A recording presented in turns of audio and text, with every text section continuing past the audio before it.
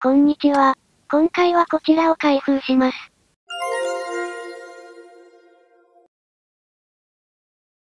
まずは外観からです。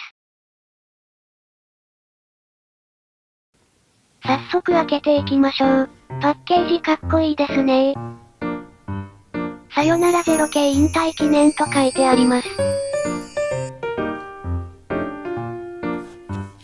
裏には説明。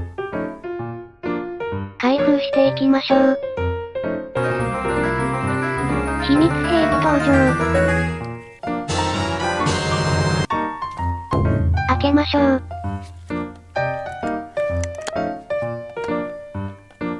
手こずってますね。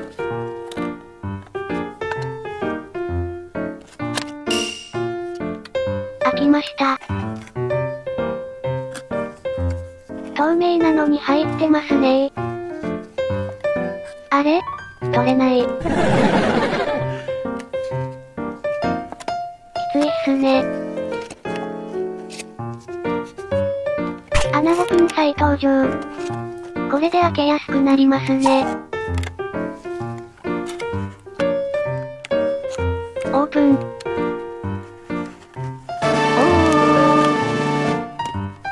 ー。劣化もないっすね。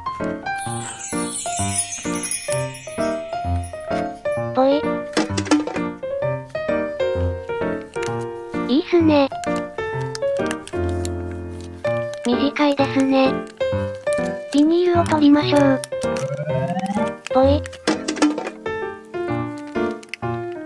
いいっすね。あ、なぜか落ちました。あー、もう手で持ちましょう。窓少ないですね。おーすごい。R67 編成が印刷されてます。側面窓少ない。後ろは多分普通のと一緒ですかね。屋根にはパンタグラフのモールドがあります。キハ8500のチョロ Q を持ってきました。キハ8500の方が大きいですね。車輪もキハ8500の方が大きいです。高さも。横も。あとキハ8500には連結機がありますね。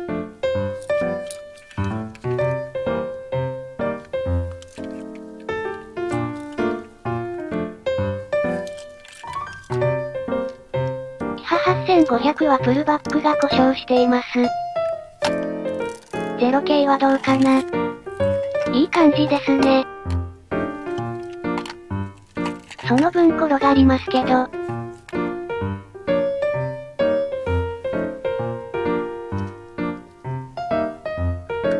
あとゼロ系にはクリアのパーツがあっていいですね。順番間違えてる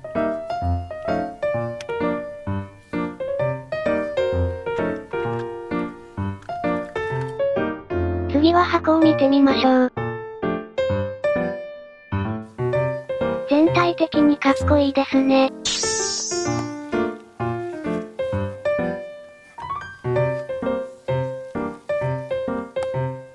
おなじみの裏面。中古品ですが綺麗でした。今回はここまで、チャンネル登録お願いします。見つけた時は買ってみてください。バイバイ。